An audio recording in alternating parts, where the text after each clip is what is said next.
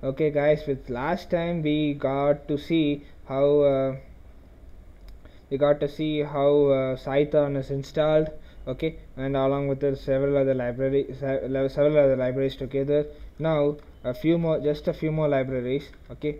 Uh, we'll be using a library called as uh, netcdf 4 in the system I mean for the application uh, for the tutorial series okay? To install that what you have to do is just type conda install netcdf4 and uh, this will download a few libraries along with it just like the previous times. So proceed yes.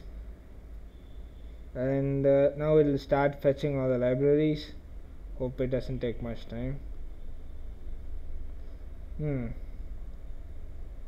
Okay anyway anyway I'll pause this up. Okay with this we have installed netcdf4 and if you guys want to install uh, if you want to access HDF HDF files um, there's this library called as uh, h5py h5py okay press that press enter and that will automatically take you to the place. I mean, find the library and you'll go about with it hopefully this should work.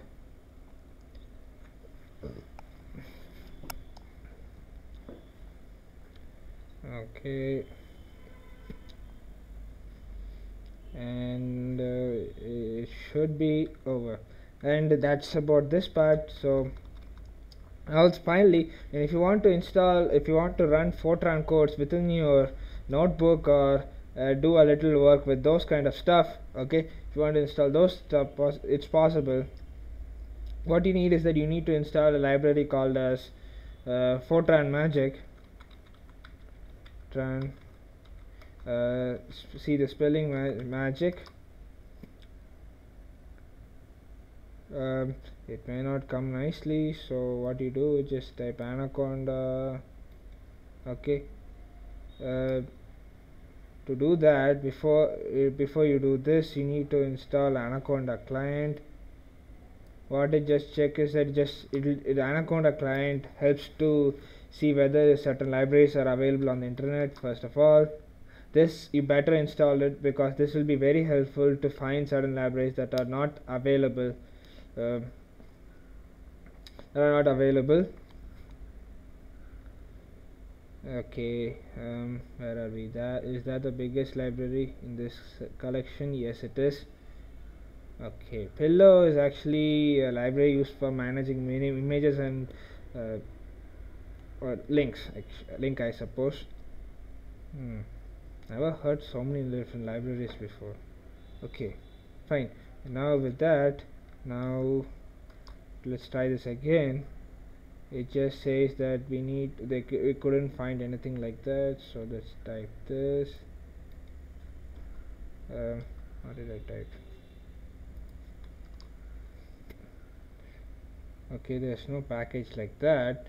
Okay so what you can do is there's no package like that. Just go to google and just type fortran magic. Fortran magic there should be uh, library like this fortran magic python. Okay there should be a library. This yeah this page. Uh, for python package index if you go to this page it will show you uh, uh, place and uh, where is the link. This is the link fortran magic. I think okay i wrote the spelling wrong. Not a problem uh, conda install fortran magic press enter I wrote the spelling wrong. Hmm. Ah, come on man.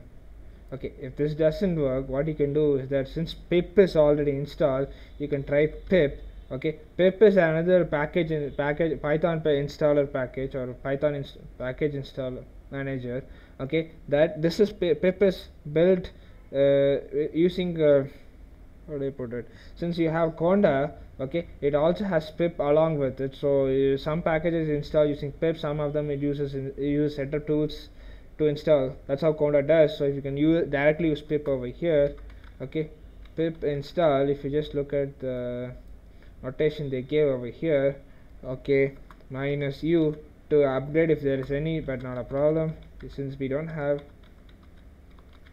let, let it be as it is. So if you press enter it just says that uh, requirement already up to date uh, installing collect collected packages. So not a problem. It's installed. Okay. Okay. I guess it wasn't it was there was an issue. I guess it now it's installed not a so it's not a problem. Okay. And similarly uh, this is how you guys um, install all the necessary packages for you. Now a little bit of testing. To make sure that everything is working fine just type uh, python first of all. Okay before that let me exit all this. Open a new to open the terminal again. That is necessary so that the bash knows what's happening. Okay now I just type uh, python. Python. Okay now this is fine. Now to see all the modules available what you do is you just type help inside modules okay press enter. It'll take a moment and come on yeah fine. It'll take a moment and uh, it'll just show you all the necessary libraries that are available in this folder home miniconda okay?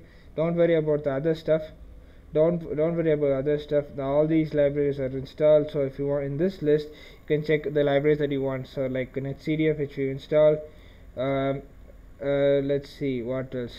Numpy we installed cython we've installed that. And uh, conda that is what it does. I mean that's what that's necessary. And uh, matplotlib that we installed. And if you want you can look at sphinx that came along with Spyder.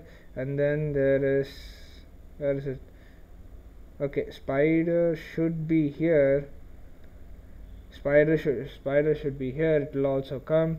And then where is it. And then where is SymPy all the libraries that we did install or all of them are there. Okay? I, I guess so. Hopefully there are. And I can exit this. And then next check. IPython IPython should work and when you run IPython you should get a Python console like name like this and the continuum analytics nice written like this. If this is there then you're good to go. And exit. And then what we need is that we just need to check whether the IPython Qt console is ready. Press enter. Press enter. Yeah perfect we get the same name that we got over here and it just opens in a new console okay? The difference is that the console has a feature to say uh, put the document put the figures and everything on the same uh, option here so that's the only thing. Uh, it uses Jupyter Qt console so not that's not a problem. That's not a problem okay? I can close this close this up no, okay? IPython Qt console is fine. Next let's open Spyder. Let's open Spyder. That will be the editor. Um, code dump huh? please please please work. Ah perfect. The console is the console is ready. Uh, the editor is ready. We're good to start. Okay. This is fine. And that's about it. This ed editor is ready. Now finally we need just one more stuff. One more thing IPython notebook. Um, no more no module name IPython notebook huh? Type this again. No? Okay. I think we have to we didn't install IPython notebook. Conda install IPython oh look at my spelling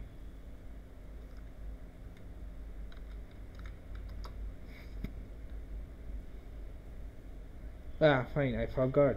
Uh, you have to install the notebook right? IPython notebook. Okay and this should be this with this I guess the notebook should be fine. Hopefully we don't need any more other install installer installations. This is necessary. Um, okay if you guys can if you're we're already halfway through so you I don't mind waiting another few seconds.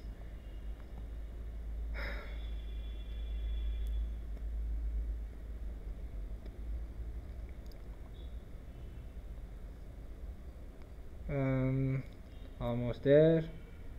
And done so what you do? Just exit this terminal and then restart this reason so that if you do if you don't do this all the shell will not know whether the whether, whether the shell will not be updated when you cl close and restart it will be updated.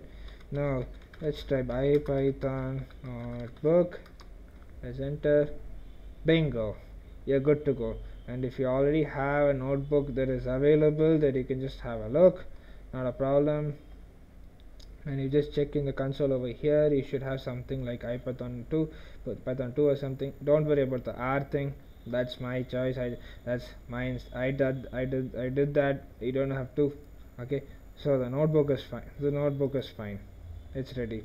So quit this. Cancel. Press yes. And that's it. The conf i mean ipython notebook is ready. And uh, i'm not sure whether it is do we need anything else apparently apparently everything is done so that's about this tutorial series. That's about this. Now with these things installed now you can happily start uh, start watching your my other scientific programming using python tutorial series. You can uh, easily watch that. You'll understand everything uh, what to do and what not to do and everything. And if you guys are working in windows just do this entire stuff using your command prompt and that's it. That's about it. That will take care of everything. So nothing about it. And if you're working in mac mac the, the whatever procedure we did here will be the same for you guys if you're working in mac so don't worry about it. So that's about it. Thank you guys for watching. I'll see you guys in the next video